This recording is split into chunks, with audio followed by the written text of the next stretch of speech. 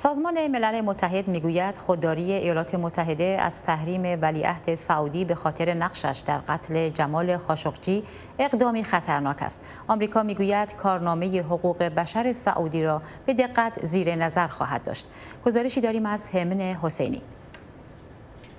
اگنس کالامار سرپرست تحقیقات سازمان ملل متحد درباره قتل جمال خاشقچی در ترکیه می‌گوید این خیلی خطرناک است که آمریکا از ولیعهد عربستان به عنوان عامل قتل روزنامه‌نگار منتقد سعودی نام ببرد اما اقدامی علیهش انجام ندهد. گروه های مدافع حقوق بشر از دولت جو بایدن رئیس جمهوری آمریکا به خاطر خودداری از تنبیه محمد بن سلمان انتقاد کرده و آن را مغایر با وعده اولویت حقوق بشر در سیاست خارجی دولت آقای بایدن قلمداد می کنند.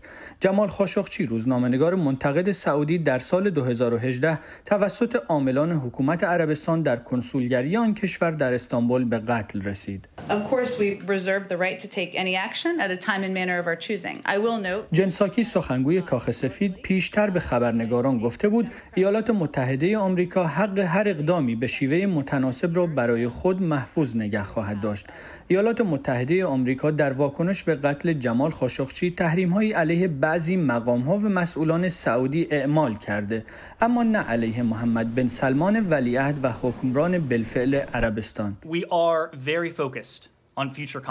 وزارت خارجه آمریکا تأکید کرد رفتار عربستان را زیر نظر خواهد داشت و انتظار بهبود کارنامه حقوق بشر آن کشور را دارد. همین حسینی صدای آمریکا.